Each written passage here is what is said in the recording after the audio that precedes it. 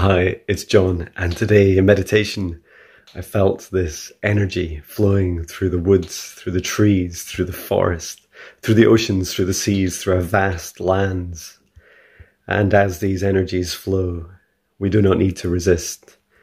We can be like water and let the energies flow through us.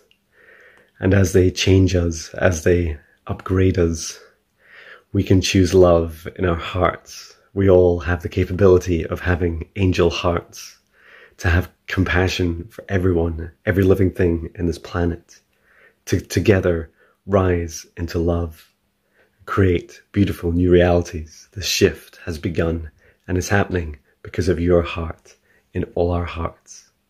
Thank you for watching. Sending my love from Scotland. I love you.